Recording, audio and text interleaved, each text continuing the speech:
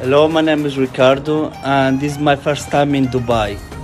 Thank you so much, Virikson and Jason, for for this opportunity, and I hope next year will be the same. Thank you.